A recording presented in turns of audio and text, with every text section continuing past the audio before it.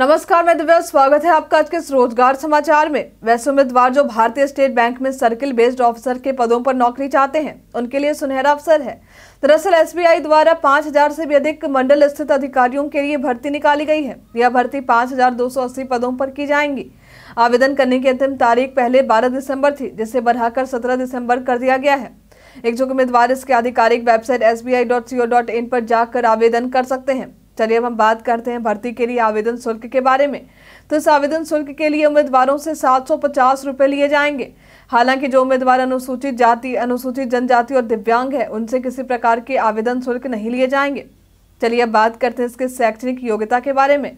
तो इसके लिए उम्मीदवार को किसी भी मान्यता प्राप्त विश्वविद्यालय से किसी भी विषय में स्नातक या एकीकृत दोहरी डिग्री होना सहित केंद्र सरकार द्वारा मान्यता प्राप्त कोई समकक्ष योग्यता, चिकित्सा, इंजीनियरिंग चार्टेड अकाउंटेंट जैसी योग्यता वाले उम्मीदवार भी इसके लिए पात्र होंगे। इसके लिए उम्मीदवारों की आयु सीमा की बात करें तो न्यूनतम उम्र 21 वर्ष और अधिकतम उम्र 30 वर्ष निर्धारित की गई है। यानी उम्मीदवारों का जन्म 31 नवंबर 2002 के बाद ना हुआ हो और ना ही उनका जन्म 1 नवंबर उन्नीस सौ तिरानवे से पहले हुआ हो। हालाँकि आरक्षित वर्गों के उम्मीदवार को अधिकतम उम्र सीमा में छूट दिए जाएँगे। जिसके अनुसार अनुसूचित जाति या जनजाति के उम्मीदवारों को पाँच वर्ष की छूट, अन्य पिछड़े वर्ग जो नॉन क्रीमी लेयर से हैं, उन्हें तीन वर्ष की छूट और जो उम्मीदवार शारीरिक रूप से दिव्यांग है, उनके लिए वर्ग के अनुसार पंद्रह वर्ष, तेरह वर्ष और दस वर्ष के छूट दिए जाएँगे।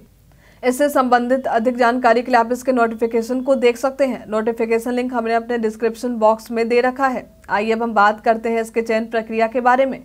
तो चयन प्रक्रिया ऑनलाइन परीक्षा स्क्रीनिंग और इंटरव्यू के माध्यम से की जाएगी। ऑनलाइन परीक्षा 120 नंबर के लिए जाएँगे। साथ ही 50 अंकों के लिए वर्णात्मक परीक्षा शामिल है।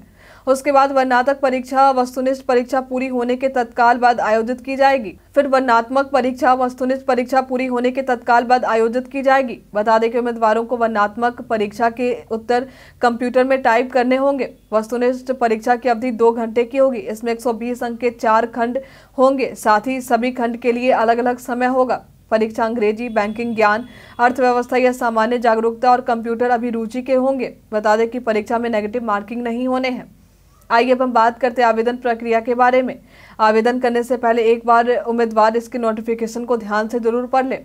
आगे आवेदन के लिए उम्मीदवार को इसके आधिकारिक वेबसाइट पर जाना होगा। आधिकारिक वेबसाइट की चर्चा हम पहले भी कर चुके हैं, साथ ही इसके लिंक हमने अपने डिस्क्रिप्शन बॉक्स में भी दे रखे हैं। यहाँ आने के बाद recruitment of circle based officers के लिंक पर क्लिक कर। आगे लॉगिन करने के बाद सभी विवरण को भर दे, फिर शुल्क का भुगतान करे। उसके बाद फॉर्म को जमा कर दे। इस दौरान किए गए आवेदन की एक कॉपी भी भविष्य के लिए अपने पास रख लें। आज के लिए फ़िलहाल इतना ही। हमारे साथ बने रहने के लिए आपका धन्यवाद।